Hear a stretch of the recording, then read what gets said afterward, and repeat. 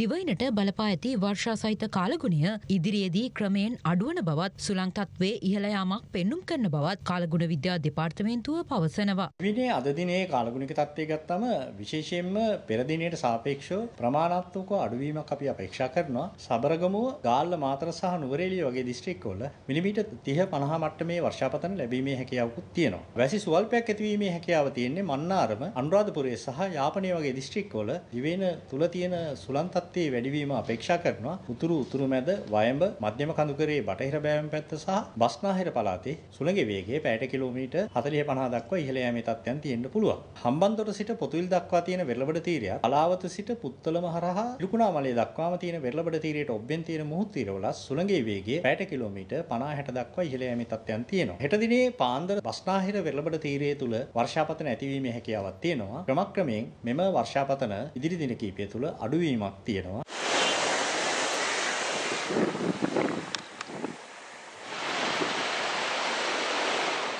වර්ෂා සහිත කාලගුණය ක්‍රමයෙන් අඩුවද ගංගා ආශ්‍රිතව ජලය ඉහළ මට්ටමක පවතින බවයි වාරිමාර්ග දෙපාර්තමේන්තුව පවසන්නේ. පසුගිය දින හයක හතක කාලය තුළ දිවෙන නිර්තදිග ප්‍රදේශවලට සැලකියයුතු මට්ටමේ අවර්ෂාපතනයක් ලැබුණා මේ තත්ත්වය නිසා මේ ප්‍රදේශ හරහා ගලා බසින ගංගාවල ජලමට්ටම් සැලකියයුතු ලෙස ඉහළ ගිය. නිල්වලාගඟ ගිංගඟ කළුගගේ සමහර අතුගංගාවන් අත්තන ගලුවය යන ගංගා මූලික වශයෙන්ම අධික ජලගලන මට්ටමකට පත් වුණා. අද වන විට මේ ගංගාවල පහළ ප්‍රදේශවල ජල මට්ටම් ඉහළ මට්ටමක පවතිනවා. ගාල්ල දිස්ත්‍රික්කයේ උඩුගමින් පහළ ගිංගඟ ප්‍රදේශවල කළු ගංගාවේ කුඩා ගංගා අතු ගංගාවේ බුලත් සිංහල ප්‍රාදේශීය ලේකම් කොට්ටාශය තුල ඉල්ලලා ගංගාවේ අකුරැස්සෙන් පහළ ගංගාව අවට ප්‍රදේශවල ජල මට්ටම් සැලකිය යුතු ලෙස ඉහළ මට්ටමක පවතිනවා. හෙට දිනේ වන විට මේ තත්ත්වය ක්‍රමෙන් අඩු වී යනු ඇති බව සඳහන් කරන්න කැමැතියි. ගංගාවල ජල ගලණය අධික බැවින් මේ ගංගා